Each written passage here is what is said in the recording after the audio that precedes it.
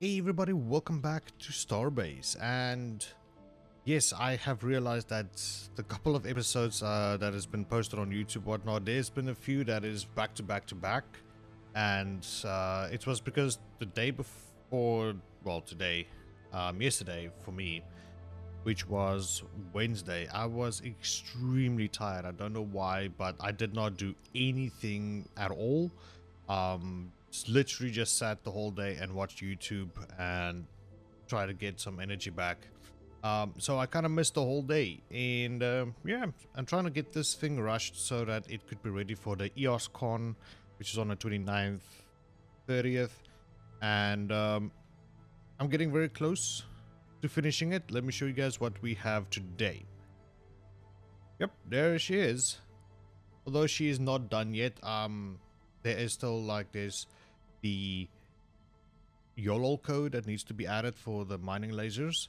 And then there is the, uh, what do you call the, uh, where is it? Is it under devices?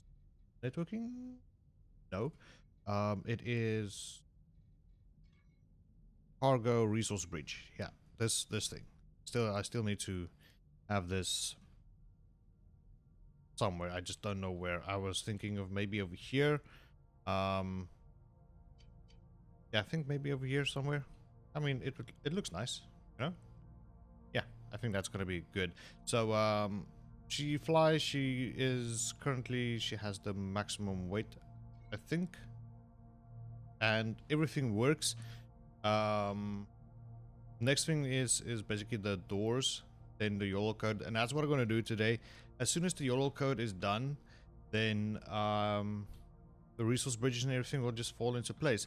I want to cover up these engines, but I'm not going to. It's a little bit weird. They used to sit around here, but I'm just afraid like uh, uh, the the flame that fires out might, if we leave the safe zone, might fry this thing over here. As we can see, it sort of was sort of the like line with each other. But um, yeah, other than that, everything looks hunky-dory. We got ourselves a nice floor over here, and we got ourselves the uh, back end of this room. Um, and yeah, I mean, there is still a whole place you can go to, but I feel like it's not really necessary to have all this space if you're just gonna... I don't know what you're gonna do in here, except for replacing the fuel rods, which I have uh, extras over here. So, um, yeah, I was thinking maybe down here somewhere, maybe over here or down here maybe in this middle or somewhere. Oops, I don't know where I'm going to put the URL codes, but I'm going to have to add it, have to add them somewhere and um, get started on the programming for the mining lasers. This let that's literally all that needs to be done. You know, plating is done, painting is done, everything is done, and it is first day first day for me. So I'm gonna try and get this done before Saturday, and uh, yeah, see how that is gonna go. Um, and yeah, all right. So let me jump into action and see what I can do, and I'll be with you guys in a moment. All right, we're back, and just the microphone, just a scooch. Right. so yeah, welcome back everybody, and everything is blurry and weird, and uh, yeah. So, I think it is done, but there still can be some improvements if I say so myself. Um, ISAN for one's, uh, so, but uh, anyways, like a normal GPS system.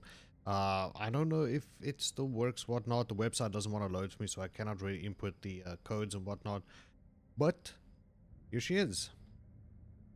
This is my new mining ship. Um, I'm going to see if I can get her ready for the EOS EOS Con uh, which is going to be held over there. I don't know why everything else is blurred, but except for that. Weird. Um, but yeah, not much to look at though. um, it's very flat surface. Oh yeah, I forgot to add, uh, what do you call it, like the ore transfer things, resource bridges. I have to add those. But uh, yeah, so as we can see, we have our mining lasers here ready to rock and roll. We have doors on this side, and I dubbed this the world wildebeest um, because it's bigger brother or it's like more complete brother would be the buffalo but uh, the buffalo was inspiration for this ship. Um, so i just uh, decided to you know go for a similar look similar everything um, but like with my own taste like a little my own type of um, i'm gonna put it? My own niche. What i kind of wanted a, a in a mining ship all right so uh, yeah this is how she looks like and uh, I can quickly give you guys a tour on the inside. So we have our doors here. Um, it's not as fancy as the Buffalo is, but it's, you know, I feel like this is going to be a one-time thing. Um, what's nice is I've added a couple of uh, indicators and whatnot. We'll get to these buttons in a second. So what happens is if I just start moving forward, These doors close automatically thanks to this code over here. There we go. If you guys were wondering how that code looks like, this is what I thought out. Um, there's probably a better code or something. I don't know. But that's what I kind of thought it will work. At the bottom, there, there, there, and there is where I put the um, four mining lasers, their um, codes to work. So I closed this all off, a little bit of a nice staircase. Oh, poop, I forgot to add something. there was supposed to be another piece of stair there, but I don't think I've welded it to the rest of the ship.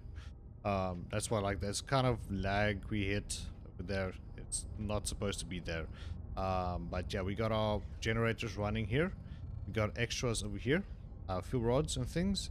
Uh, at the back, there's literally nothing there. Uh, just more of these boxes you guys probably saw in the uh, previous videos. Um, but yeah, so let me show you guys. We have our throttle control and everything over here. Go this side. This is our transponder, which I added on in the ship somewhere. So that will just indicate if our transponder is working or not. Maybe I'll just add a little light there. Just in case if the transponder works or not. Just to showcase it. But I mean, the button in itself is like the transponder's off. That is on because, yeah, reasons. Uh, over here, come on. Over here is our uh, ore collector. As we can hear. It works. And then we have our rangefinder. If we turn the ship just a little, as we can see, uh, I don't know if you guys can see, but we have a little rangefinder right there. I think it's it would be better if we go this way. So as we can see, here's the rangefinder. Very nice little thing. And I did get the mining lasers to work, so if we get close... There we go. Ow! What the hell? Okay. Weird, but... That hurt me like in any way whatsoever. I don't know. I look fine. okay, never mind. But yeah, as we, as we can see, like uh, this is what I wanted. As we get closer, it will get closer and closer. I don't know what is killing me, but something is. There we go. So yeah, that's what I wanted. It will mine out at any distance uh, up until the longest length of the beam. I think this would be it. But yeah, so this took me about a few hours to work out the mining lasers. Um, it's mostly been like adjusting this to correlate with the mining laser in itself or the um, rangefinder.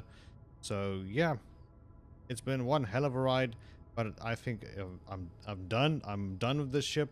I will come back to it uh, if you guys would let me know if ISAN works and whatnot. I don't know. Like like I said, I don't know if their um, things, um, their website works whatnot. Like I can't find any info, what whatever. So yeah, that's uh, that's a wrap for me. I'm gonna see if I cannot get this thing built into EOSCon way over there. I think that is where it's supposed to be. Uh, yeah, I think it is.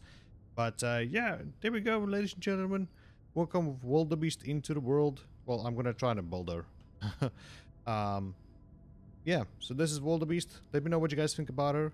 Uh, next episode, I think there is a smaller craft I'm going to build, which I have uh, an idea what I want. It's just a little thing to, uh, which is very fuel efficient, maybe, uh, but we just zip around in the, um, uh, like a station or something. Um, at the K-Bots, there is a ship which is a port shuttle, but it there's no information or anything available on it, so I can't purchase it. But it was one of them, one of my most favorite ships to dart around at a um, uh, what you call it, a, a, station like this. So that will be our next project. It should be a lot cheaper, a lot quicker to do, uh, and we will have all the time in the world. Then after that is going to be a bigger, long-range cruiser go back and forth between stations and go exploring that kind of stuff. And then I don't know what after that. Um, you guys have to let me know in the comment section what you guys want to see. But anyways, that's it for me.